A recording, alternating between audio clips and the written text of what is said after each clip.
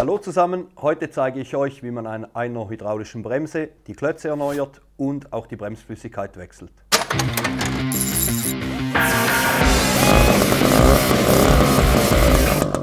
Für dieses Tutorial benötigt ihr ungefähr 30 Minuten und funktioniert auf jedem Fahrzeug mit einer hydraulischen Bremse, egal ob Mofa, Motorrad oder sogar Auto. Wir benötigen dafür folgende Teile.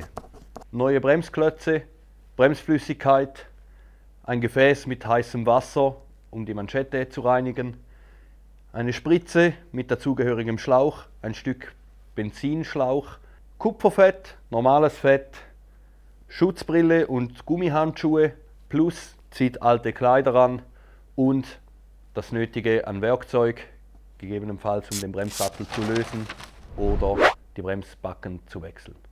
Bevor wir beginnen, müsst ihr euch sicher sein, was für eine Art Bremsflüssigkeit ihr benötigt.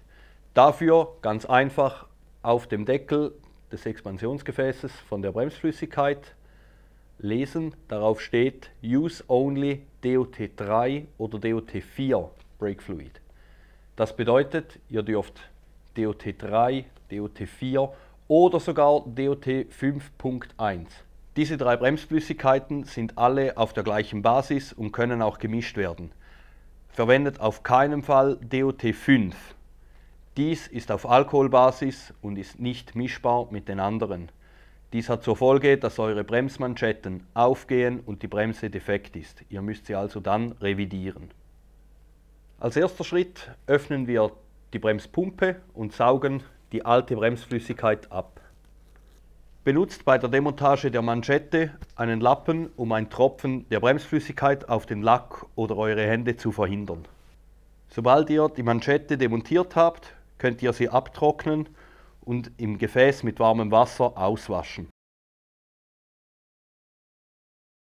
Mit Hilfe einer Spritze ziehen wir die alte Bremsflüssigkeit aus dem Reservoir, bis sie so gut wie leer ist.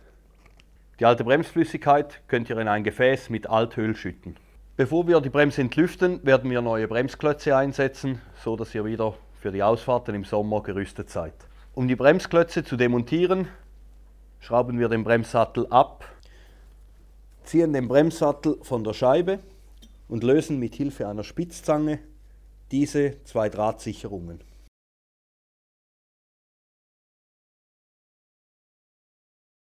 Wir drücken nun von Hand die Bremskolben zurück, um einen maximalen Platz zu erreichen für die neuen Klötze. Um ein Schwingen der Bremsklötze zu verhindern, könnt ihr ein wenig Kupferpaste auf der Rückseite auf dem Stahlträger anbringen. Dies ist eine einfache Variante, um ein Schwingen der Klötze oder ein Einlaufen des Bremskolbens zu verhindern.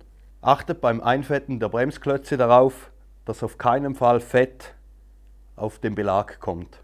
Ansonsten ist eure Bremswirkung dahin. Wir setzen die Bremsklötze nun ein und die Sicherungshaken wieder in die Löcher.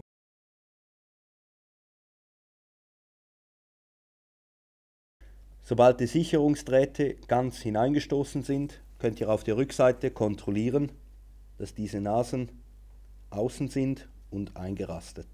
Um den Bremssattel wieder auf die Scheibe zu setzen, ist es nötig, die Bremsklötze auseinander zu drücken. Ihr könnt mit einem großen Schraubendreher hineingehen und die Klötze ein bisschen auseinanderdrücken. Achtet dabei darauf, dass ihr die Beläge nicht verletzt. Da der Bremssattel immer im Straßenstaub ausgesetzt ist, fetten wir das Gewinde ganz wenig vorne, um sie auch in einem Jahr wieder lösen zu können. Gewöhnt euch auch an, die Schrauben direkt nach der Montage wieder anzuziehen, nicht dass diese vergessen gehen und der Bremssattel sich bei der Fahrt lösen würde. Nun kommen wir zu der Königsdisziplin, die Bremse richtig zu entlüften. Ich benutze eine Spritze und einen Benzinschlauch, stülpe diesen auf die Spritze. Ich empfehle euch ein bisschen Bremsflüssigkeit in den Schlauch zu ziehen, um ein Zurückziehen am Bremssattel mit Luft zu verhindern. Nun, da wir mit Bremsflüssigkeit arbeiten, empfiehlt es sich eine Schutzbrille zu tragen und auf jeden Fall Gummihandschuhe. Ich stecke zuerst den Achterschlüssel auf den Entlüfternippel Sauge den Schlauch etwas voll mit Bremsflüssigkeit. und stecke diesen auf den Entlüfternippel. Ich fülle nun oben das Gefäß einmal mit frischer Bremsflüssigkeit auf. Nicht zu viel, nicht dass es überläuft und euch den Lack ruiniert. Wenn Bremsflüssigkeit aufgefüllt ist, können wir beginnen am Bremshebel zu pumpen. Ihr seht, die Bremsflüssigkeit pumpt sich nach unten und sobald ein Druck aufgebaut ist, was Stück für Stück kommt, können wir unten einmal lösen. Sobald oben bei der Bremspumpe Druck besteht, könnt ihr Druck geben, das heißt den Bremshebel nach hinten ziehen, den Schlüssel einmal im Gegenuhrzeigersinn drehen und gleich wieder schließen.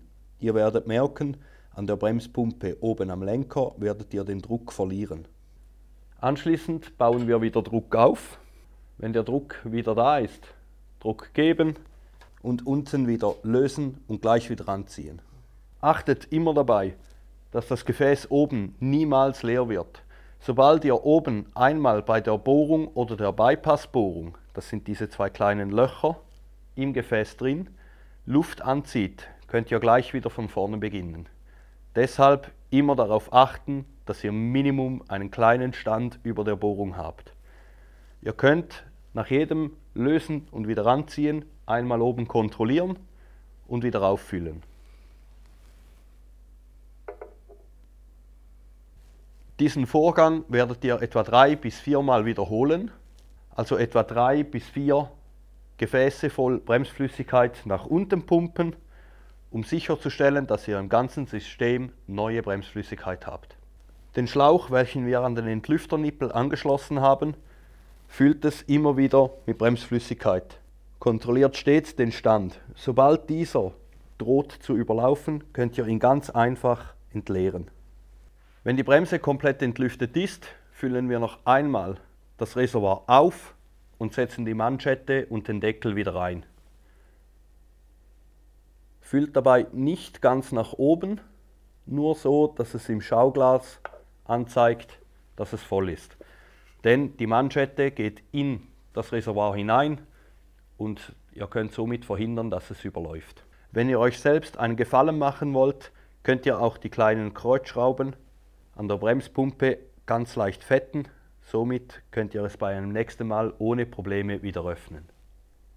Zu guter Letzt empfehle ich euch mit einem Lappen mit warmem Wasser die Bremspumpe zu reinigen, um etwaige Tropfen abzuwischen und die Bremsflüssigkeit zu neutralisieren.